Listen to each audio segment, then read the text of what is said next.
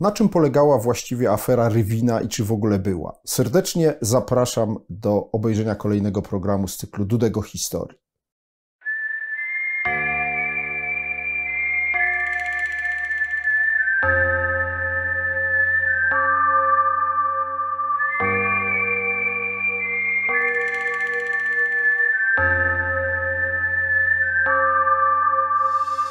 Panowie posłowie Wysokokomisji.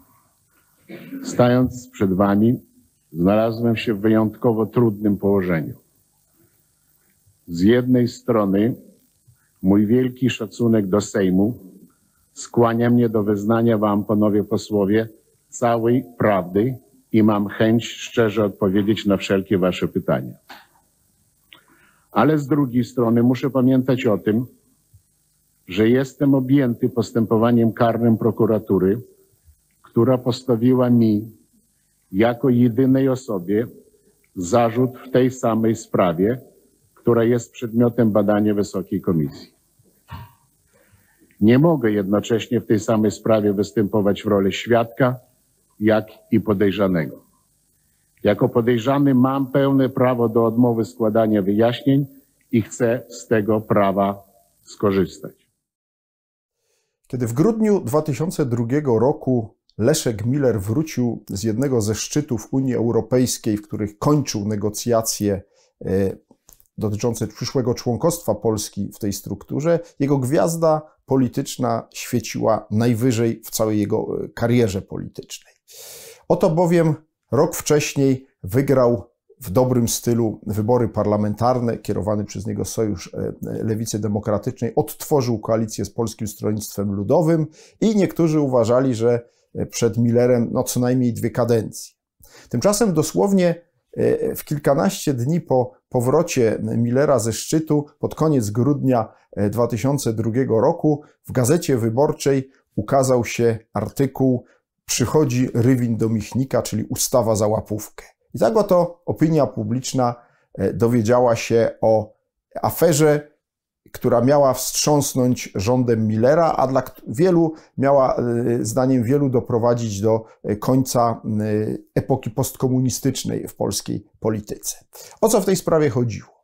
Otóż pośród wielu działań, które rząd Millera podjął po przejęciu władzy w końcu roku 2001, był też pomysł stworzenia nowego ładu w eterze, mianowicie przyjęcia nowej ustawy o radiofonii i telewizji.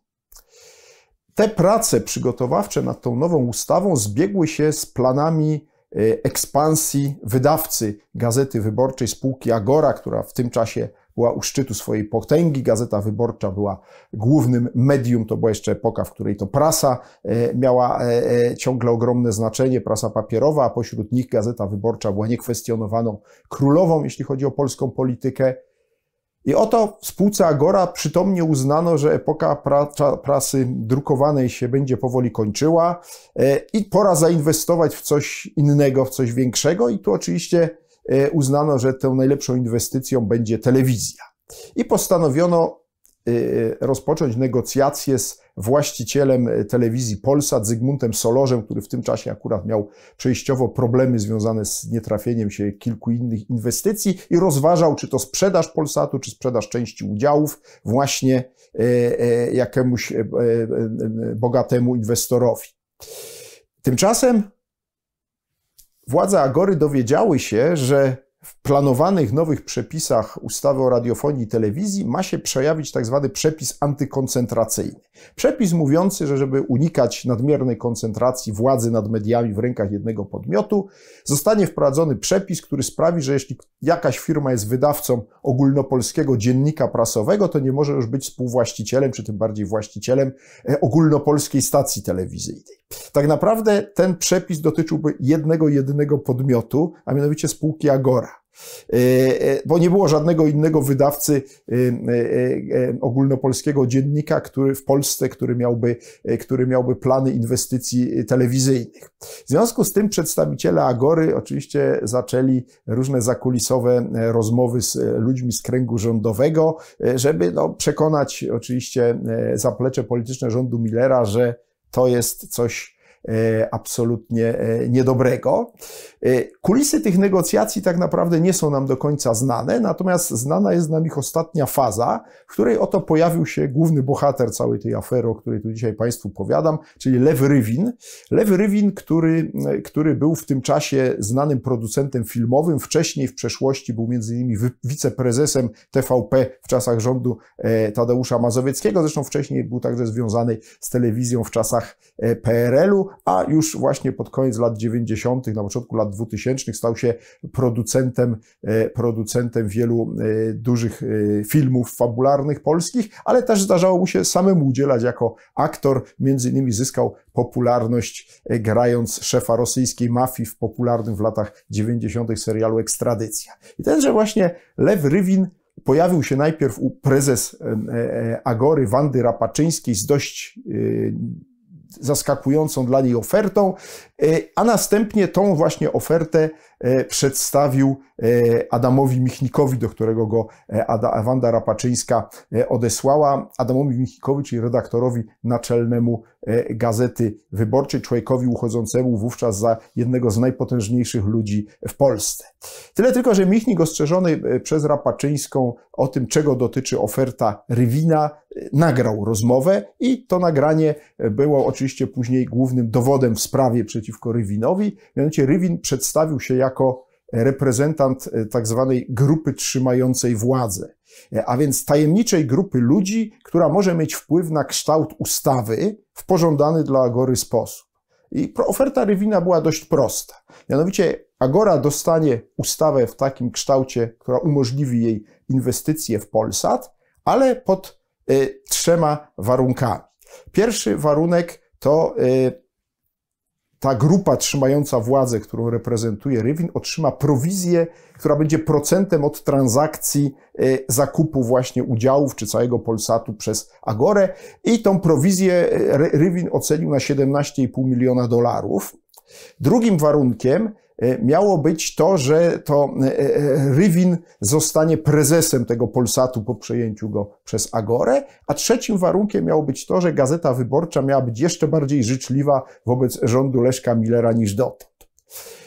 Michnik nie udzielił jasnej odpowiedzi Rywinowi, ale jeszcze tego samego dnia zadzwonił do premiera Leszka Millera i tego samego, a był to dnia 22 lipca 2002 roku, wieczorem Lew Rywin został niespodziewanie zaproszony do e, kancelarii premiera, gdzie w gabinecie premiera ku swojemu zdumieniu zobaczył Adama Michnika. I tam doszło do konfrontacji tych trzech panów, której oczywiście przebieg znamy wyłącznie z relacji Millera i E, Michnika, które są dość zgodne. E, Rywin w tej sprawie milczał, już później nie chciał e, udzielać żadnych informacji, w której oczywiście przerażony tym, że właściwie no, Michnik ma takie możliwości, że może iść wprost do szefa rządu, Rywin zapytany, kto go właściwie przyznał, przysłał, kto, kto, kogo on reprezentuje, wymienił właściwie tylko jedno istotne nazwisko, a mianowicie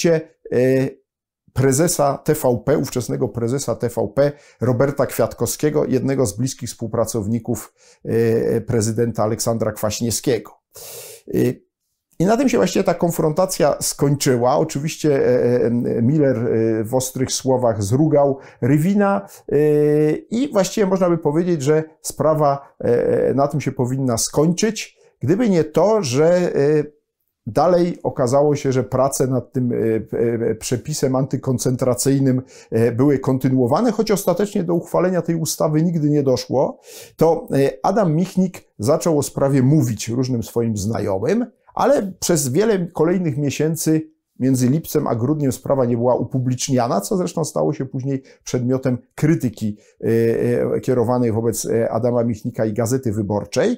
Sam Michnik bronił się później tym, że E, prowadzono dziennikarskie śledztwo.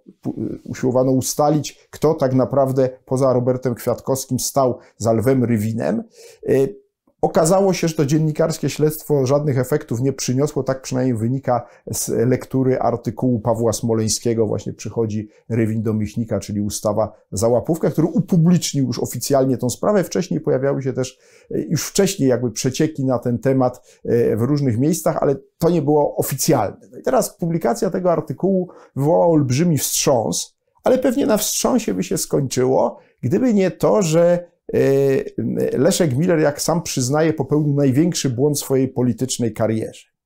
Mianowicie po e, opublikowaniu artykułu w Gazecie Wyborczej pojawiły się ze strony opozycji, a przypomnę, że w tym czasie e, rolę głównych partii opozycyjnych wobec rządu koalicji SLD-PSL pełnił, pełniła istniejąca od niedawna Platforma Obywatelska oraz i Prawo i Sprawiedliwość, więc partie, które powstały w 2001 roku, politycy tych partii zaczęli żądać powołania Sejmowej Komisji Śledczej. E, myśmy się już przyzwyczaili do tego, że teraz stale się w każdej sprawie żądają politycy opozycji sejmowych komisji śledczych. Wtedy to była absolutna nowość, dlatego że dopiero w 1999 roku weszła w życie ustawa o sejmowych komisjach śledczych i tak naprawdę ten Gdyby ta komisja powstała, powstała miała być realnie pierwszą komisją sejmową, e, która e, miała prowadzić śledztwo e, z szczególnymi uprawnieniami. Mianowicie chodziło o to, że no, przed tą komisją każdy pod rygorem odpowiedzialności karnej wezwany musiał się stawić, złożyć zeznania. I Leszek Miller, ten błąd, o którym mówię, polegał na tym, że Miller zgodził się na powołanie tej komisji. Jak sam później twierdził, doszło do buntu w szeregach jego partii. Część polityków SLD na czele z marszałkiem Sejmu Markiem Borowskim zagroziła, że w ogóle opuści partię, jeżeli Miller e, nie zgodzi się na, na, na powołanie komisji, która wyjaśni tą sprawę, więc Miller ostatecznie ustąpił, ale zakładał, że e, ponieważ większość członków komisji to będą posłowie E, koalicji rządowej, no to sprawa będzie pod kontrolą. Nie przewidział jednak, że e, e, przewodniczącym komisji został e, poseł Unii Pracy, która w tym czasie była już bardzo blisko związana z SLD i była właściwie w sojuszu wyborczym, ale w praktyce była kompletnie zwasalizowana, że profesor Tomasz Nałęcz jako szef Sejmowej Komisji zabrze, zabierze się naprawdę do pracy i nie będzie jego e, e, celem ukręcenie, mówiąc kolokwialnie, głowy całej sprawy, tylko rzeczywiście jej wyjaśnienie. Ja to jestem dobrym medium w tej sprawie, ponieważ byłem posłem lewicy e, i broniłem tych prac Dopóki nie zająłem się tą nowelizacją w komisji śledczej, to byłem zwolennikiem tej nowelizacji. Konkluzja, dopóki nie, nie zajrzałem za kulisy tej sprawy, to publicznie w mediach, co mi potem zresztą w czasach już komisji wyciągnięto, broniłem tej ustawy, uważając, że bronię słusznej sprawy. No tak, bo nowelizacja była potrzebna, natomiast chodziło o to, co przy tej okazji usiłowano zrobić. No i proszę Państwa, ta komisja można powiedzieć, jej działalność jest znacznie ważniejsza niż cała ta afera, o której tutaj dotąd opowiadałem, bo ta afera prawdopodobnie bez powstania tej komisji, a zwłaszcza tego, że obrady tej komisji zaczęły być transmitowane przez e, media, e, nie ma, można powiedzieć, jeden do jednego, czyli dzień po dniu te posiedzenia, budząc ogromne zainteresowanie, były transmitowane e, przez Polsat i TVN, mniej przez TVP, ponieważ jej bohaterem bardzo szybko stał się prezes Kwiatkowski, więc siłą rzeczy TVP może mniej się tym zajmowała, ale jednak także radio, oczywiście prasa szeroko relacjonowała przebieg obrad tej komisji. No i właśnie działalność tej komisji w istocie rzeczy okazała się takim tsunami, które zmiotło tak naprawdę rząd Millera, aż czasem także i Sojusz Lewicy Demokratycznej z pozycji y, siły dominującej w polskiej polityce. Cóż mianowicie ustaliła y, y, Sejmowa Komisja Śledcza? No, i tu się zaczyna problem, bo choć przyjęto raport tej Sejm przyjął raport, jeden z raportów, które powstały, tak naprawdę komisja wyprodukowała kilka raportów, których tezy się kompletnie wykluczały. Mianowicie z jednej strony był to raport tej SLD-owskiej części członków komisji, e, który właściwie twierdził, że nie było żadnej afery, że mieliśmy do czynienia po prostu z Hochstaplerem i oszustem Lwem Rywinem, który się powołując na znajomości różnych osób, które mu nie dały żadnego upoważnienia, usiłował wyłudzić od spółki Agory łapówkę. Tego oczywiście poglądu nie podzielał nikt poza politykami SLD, z których niektórzy Także po latach twierdzili, że nie było żadnej afery. Rywina był tylko spisek e, Gazety Wyborczej jakichś sił opozycyjnych, żeby skompromitować e, Leszka Millera czy rząd SLD. E, no i ten spisek się okazał udany. No ale w innych raportach jednak sformułowano oskarżenia znacznie poważniejsze. Przy czym tak naprawdę cała istota sporu, czy raczej śledztwa, które prowadzone było przez komisję, koncentrowała się na tym, żeby wyjaśnić, czy Leszek Miller wiedział o misji Rywina wcześniej i w jaki sposób ją autoryzował, czy nie wiedział. Oczywiście Leszek Miller e, zaprzeczał i właściwie głównym jego problemem było przekonanie posłów, dlaczego po tej konfrontacji u, w swoim gabinecie z udziałem Michnika i Rywina nie oddał sprawy do prokuratury. I tutaj oczywiście e, e, Miller tkwił w tym bagatelizacyjnym, bagatelizacyjnej narracji, mówiąc, że no, traktował Rywina jako maniaka, Hochstaplera, oszusta i uznał, że nie warto prokuraturze zawracać głowy w sumie taką sprawą, skoro przecież nikt nikomu żadnej łapówki ostatecznie nie dał. To oczywiście posłów nie przekonało, niemniej jednak nie zdołali oni znaleźć przekonujących dowodów na to, że Miller o sprawie wcześniej wiedział. Ale znaleźli poszlaki istotne, wskazujące na kilka innych osób, których nazwiska tu dotąd nie, e, e, e, nie padły, a które obok Roberta Kwiatkowskiego tworzyły ową grupę trzymającą władzę.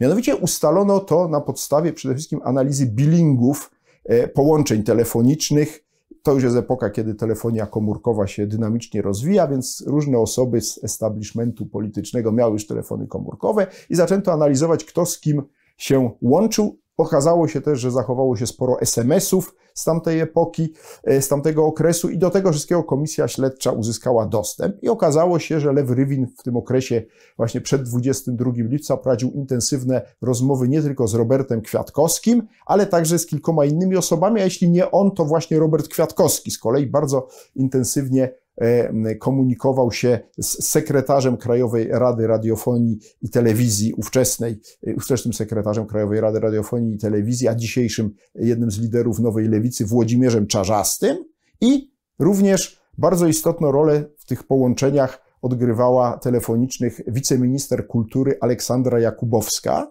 y, która była, nawiasem mówiąc, właśnie od strony rządowej y, tą osobą koordynującą pracę nad ustawą o y, radiofonii i telewizji. Mechanizm afery bowiem był dosyć prosty. On się tak naprawdę wiązał z istotą parlamentaryzmu. W, całym parlamentaryzmie cywilizowanym jest tak, że E, określone kwestie merytoryczne są w klubach powierzane ekspertom, specjalistom.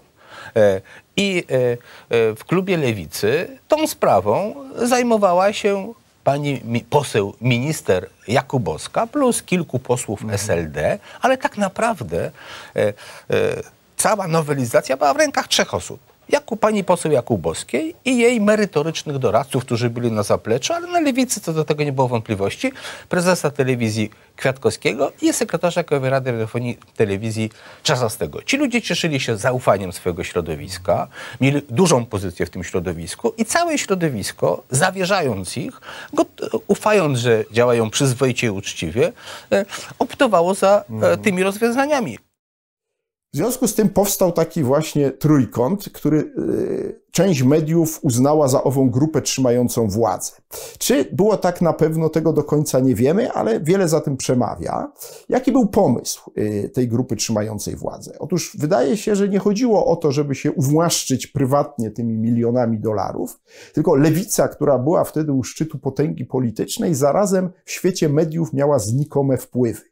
Tak naprawdę poza wydawanym z trudem i bardzo słabo sprzedającym się dziennikiem Trybuna, Lewica mogła liczyć jeszcze e, Seldowska na tygodnik Przegląd i na tym koniec. Nie miała żadnych wpływów w mediach elektronicznych, więc wydaje się, że Czarzasty z Kwiatkowskim uznali, że czas na zbudowanie koncernu medialnego lewicy. No i skoro Agora chce wejść w Polsat, to niech za to zapłaci, e, dając nam fundusz założycielski pod nasze przedsięwzięcie medialne. Czy tak było na pewno? Tego się w moim przekonaniu już nigdy na pewno nie dowiemy, chyba że któryś z tych uczestników żyjących zechce nam powiedzieć prawdę, ale właściwie dlaczego miałby to powiedzieć? Dla nas istotne jest co innego.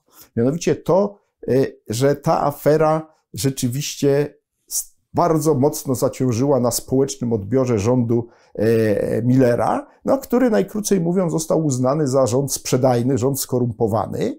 I, to temu rządowi bardzo mocno zaszkodziło, choć oczywiście nie sama afera Rywina, doprowadziła ostatecznie do dramatycznego spadku poparcia społecznego dla Sojuszu Lewicy Demokratycznej, bo w ślad za aferą Rywiny, Rywina wybuchały kolejne. Afera Starachowicka, afera Opolska, y, afera Gdańska.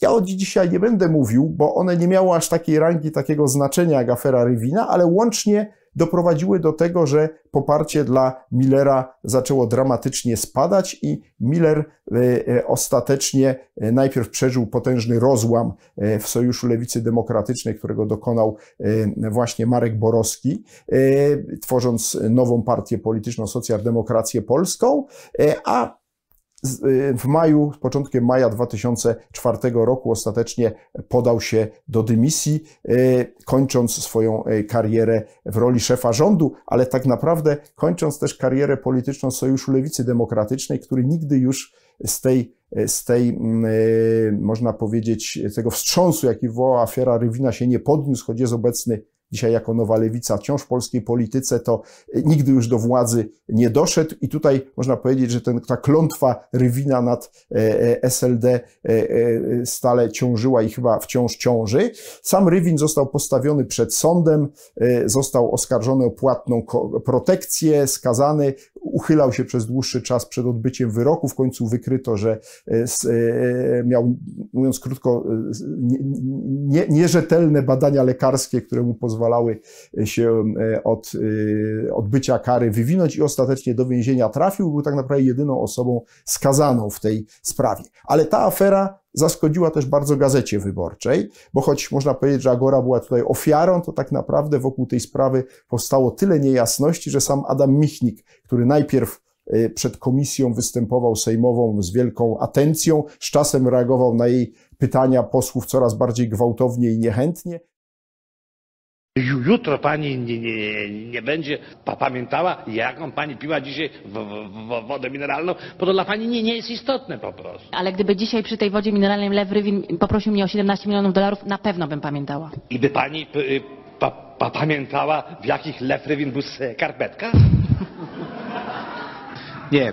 E, Wiedziałam, że tak bardzo się panowie tam poznawaliście. Pro, pro, pro, nie. E, pani poseł, to już było naprawdę poniżej pasa teraz. No, no bo skarpetki. Pani, e, kolorowe skarpetki to symbol walki z stalinizmem. Wszyscy bikiniarze chodzili w kolorowych skarpetkach. Mówi się, że pedały też. Panie redaktorze. Ja protestuję, to jest tak politycznie nie, niepoprawne. Przepraszam najmocniej, ale to już żartobliwy. Panie redaktorze, uchodzi pan w Polsce za osobą bardzo, osobę bardzo wpływową. Otóż według prasy lokuje, prasa lokuje pana na piątym miejscu w Polsce pod względem wpływów. Mówi się o tym, że jest pan po prezydencie, premierze, prymasie i marszałku Sejmu kolejną osobą, która jest bardzo wpływowa. Czy udając się do pana, Lew Rywin, a w przypadku między innymi obsady stanowiska prezesa Polsatu, nie kierował się przypadkiem tą informacją, tą plotką? Wielce szanowny y, panie, panie pośle, y, uchodzę, uchodzę za, za osobę wpływową, no to nie, nie, nie wiem, czy to jest komplement, czy zarzut, no, nie bardzo wiem, jak, jak do tego się y, y, ustosunkować, no, ale żebym y, nawet był, nie wiem jak wpływową osobą, to nie mam takiego wpływu na, na rzeczywistość, wielce szanowny panie pośle, żebym potrafił ustalić, czym się kierował Lew Rywin, przychodząc do mnie. Ja myślę, że przede wszystkim jak się kierował bezbrzeżną bezczelnością czasem reagował na jej pytania posłów coraz bardziej gwałtownie i niechętnie. Dlaczego? No bo jednak y, okazało się, że tutaj y, y, on i całe środowisko Gazety Wyborczej Agory usiłowało się jakoś ułożyć z rządem w sposób niejasny, mało transparentny do pewnego stopnia można powiedzieć, niektórzy wierzyli też samemu Rywinowi, który twierdził, że to nie jakaś grupa trzymająca władzę wysłała go do, do Agory, tylko że to właśnie Wanda Rapaczyńska i generalnie środowisko Agory go poprosiło, żeby się w tą sprawę zaangażował. Wiele wcześniej przed tym spotkaniem z Michnikiem nagranym przez niego w lipcu 2002 roku. Jak było naprawdę, tego oczywiście nie wiemy. Lew Rywin już nam tego nie wyjaśni, czy inni wyjaśnią, zapewne nie. Jedno jest pewne, afera Rywina nie jest ważna tak naprawdę e, e, z powodu tego, czego dotyczyła jej istota, bo ostatecznie nie udało się sprzedać ustawy, tylko tego, jakie wrażenie ona zrobiła na wielu ludziach w Polsce, stając się, można powiedzieć, fundamentem pod wielką zmianę polityczną, która się dokonała w 2005 roku. I największymi beneficjentami afery Rywina okazały się te dwie partie opozycyjne, których posłowie w komisji śledczej e, odegrali bardzo istotną rolę i których, zwłaszcza jednego z nich, zaczęła się wtedy wielka kariera polityczna, bo w tej sejmowej komisji śledczej e, z ramienia Platformy Obywatelskiej e, występował Jan Rokita, którego gwiazda polityczna wtedy bardzo rozbłysła, ale Rokita był już dość znany. Wcześniej był między innymi szefem URMU w rządzie Hanny Suchockiej, był politykiem znanych w latach, znanym w latach 90., natomiast rozbłysła przede wszystkim kariera reprezentanta Prawa i Sprawiedliwości w tej komisji, czyli Zbigniewa Ziobry. To właśnie od tego zaczyna się jego, jego kariera, od słynnego starcia słownego z Leszkiem Millerem, którego się udało Ziobrze wyprowadzić z równowagi dociekaniem o związkach Millera z zabójstwem e, ludzi SLD, z zabójstwem e, generała policji Marka Papały, co zresztą nie miało żadnego związku z aferą Rywina, ale to pokazuje, jak jak e, tu różne sprawy były na tych posiedzeniach komisji poruszane, to wtedy właśnie padły te słynne słowa z ust Leszka Millera, pan jest zerem, panie Ziobro, e, które oczywiście Millerowi nie zaszkodziły, za to pomogły Ziobrze e, w wykreowaniu tego wizerunku jednego z nieustraszonych szeryfów. Widzę, że pan premier nie odpowie na pytanie, tylko odpowie inwektywą. Ja rozumiem, że dociekanie prawdy bywa czasami przykre i bolesne. Panie pośle. Pan jest zerem, panie Zawsze poseł, można panie. Panie, panie, panie pośle, panie premierze. Pomogły przede wszystkim PiSowi i Platformie, które zajęły miejsce SLD i PSL-u w roli głównych partii politycznych dominujących na polskiej scenie, choć to już było po roku 2005. Pośród tych, którzy na aferze Rywina stracili, był też prezydent Aleksander Kwaśniewski. Dlaczego? Dlatego, że na pewnym etapie e, rozwoju tej afery Kwaśniewski, e, który miał od początku tą słynną szorstką przyjaźń z Leszkiem Millerem, postanowił, e, postanowił no, Millero, Millera ugodzić i dał do zrozumienia kiedy ta afera się rozkręcała, że właściwie Miller powinien poważnie po, rozważyć podanie się do dymisji. No i wtedy Miller powiedział, no ale przecież o tej sprawie prezydent Kwaśniewski też świetnie wiedział i była taka słynna scena, kiedy w czasie jednego z występów w telewizji Miller wyciągnął po prostu z kieszeni kserokopię listu, jaki Lew Rywin napisał do prezydenta e, Kwaśniewskiego natychmiast po tej konfrontacji, do jakiej doszło w gabinecie e, e, premiera Millera z udziałem Adama Michnika. Na mianowicie napisał list, w której wyjaśniał właśnie, że tak naprawdę to Agora go wciągnęła do tej sprawy, że on tu jest Bogu ducha winny, no i prosił prezydenta Kwaśniewskiego o ratunek. Tymczasem Kwaśniewski długo utrzymywał, że o sprawie nic nie wiedział.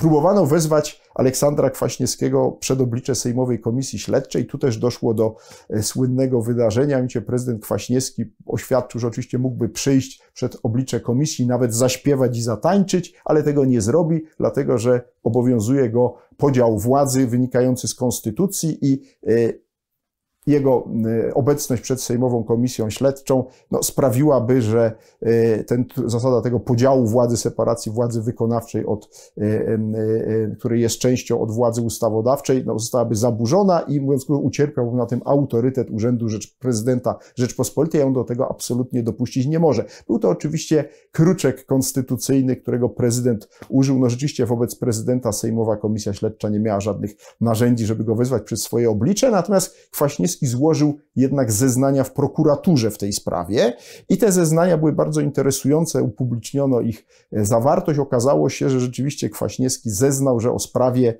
e, całej dowiedział się dość szybko e, od Adama Michnika, który przyjechał do niego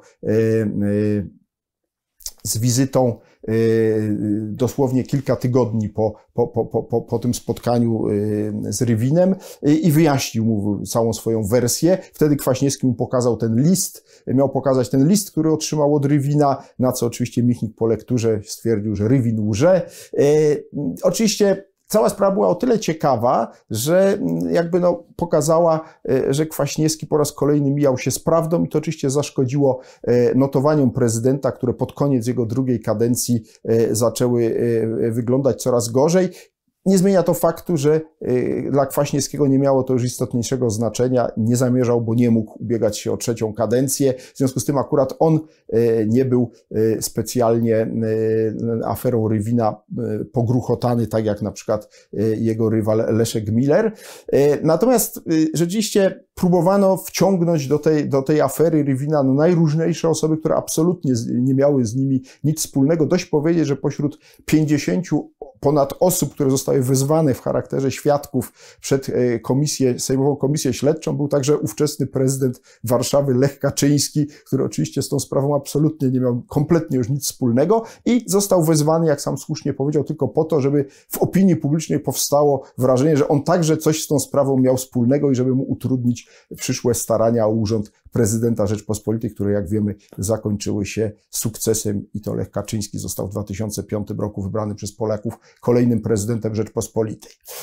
Cała afera Rywina jest jedną z najgłośniejszych afer e, w dziejach III Rzeczpospolitej, choć jak mówię, nie dlatego, że sama w sobie była tak e, poruszająca, głęboka i straszna, tylko dlatego, że wyzwoliła w istocie rzeczy y, zmianę y, y, polityczną, kończąc tak zwaną epokę podziału postkomunistycznego. Do właśnie 2005 roku można powiedzieć, że ta główna oś podziału polskiej polityce biegła między obozem postkomunistycznym, a podzielonym, ale jednak ciągle odczuwającym pewną łączność biograficzną obozem postsolidarnościowym, a z drugiej strony właśnie po 2005 roku e, e, za, za, zastąpiła go słynna wojna polsko-polska w wykonaniu Platformy Obywatelskiej PiSu, ale to już zupełnie inna historia, o której początkach być może opowiem Państwu w jednym z kolejnych programów Dudego Historii. Dziś serdecznie zapraszam na kolejne programy z tego cyklu.